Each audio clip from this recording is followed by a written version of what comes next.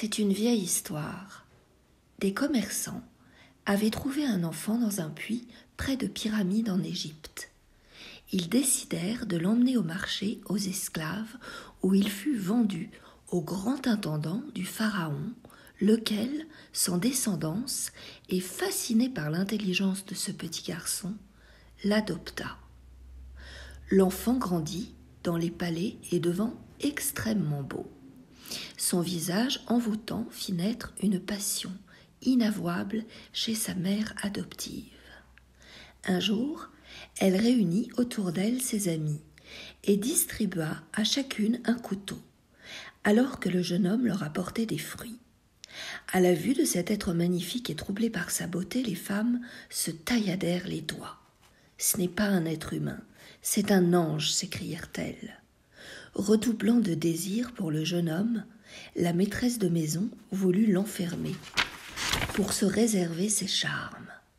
Il se défendit, mais à l'arrivée du père adoptif, la femme l'accusa d'avoir tenté de la violer. Bien que le mensonge fût avéré, le grand intendant jeta le jeune homme en prison.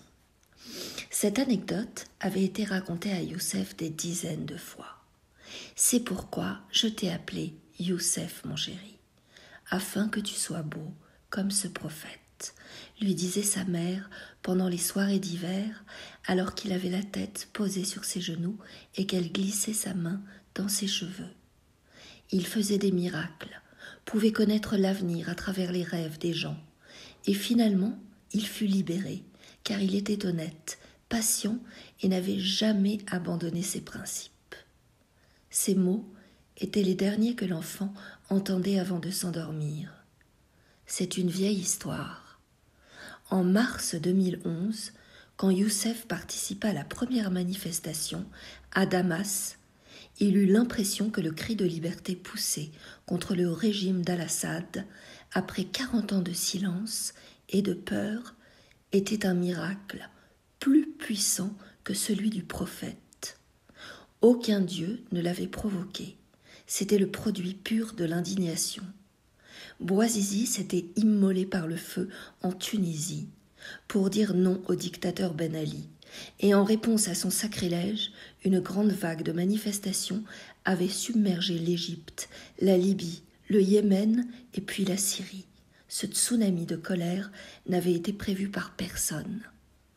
À la fin de la manifestation, un policier avait poursuivi Youssef, qui avait couru jusqu'à l'entrée d'un bâtiment, jeté son sac et enlevé sa veste. En sortant, il avait joué le mendiant, demandé une pièce au policier et continué sa route. Aujourd'hui encore, il ne comprend pas comment il a pu oser faire cela, ni comment son poursuivant ne l'a pas reconnu. Depuis, il a l'impression que tout ce qu'il voit autour de lui n'est rien d'autre qu'un film. Cette pensée, qui le fait rire, lui vient encore dans les moments les plus durs. Il n'est pas revenu à Damas depuis cet épisode. La capitale lui manque et l'inspire, et malgré le risque d'être arrêté par les services de renseignement, c'est une aventure excitante d'y retourner pour rencontrer de nouveaux camarades. Pour lui, Damas est comme un miroir, un soleil entre deux nuages. Là, il se sent éternel. Chaque fois qu'il la visite, il a l'impression de retrouver une partie de son âme. Il adore se balader dans la vieille ville pendant des heures. C'est le seul endroit où l'avenir ne l'obsède pas. Un oiseau en vol qu'il poursuit sans cesse. Youssef porte ses plus beaux vêtements. Il voudrait être élégant s'il venait à disparaître de ce monde. C'est sa façon à lui de résister.